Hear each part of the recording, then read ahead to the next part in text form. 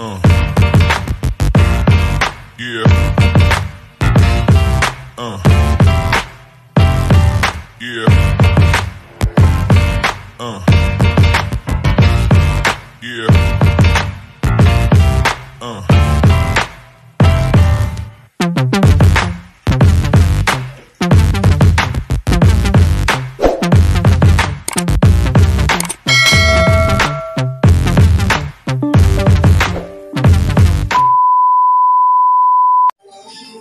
Unboxing again, guys. Yun, bago na naman tayong uh, unbox. Laptop stand. Kasi para medyo elevated yung laptop. Laptop natin. Yesterday, na-receive ko yung um, tawag dun? Keypad and keyboard. Keyboard para medyo malayo yung screen sa akin.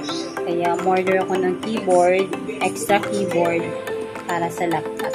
So, now, ito naman, laptop stand. Okay? So, let's unbox this laptop stand.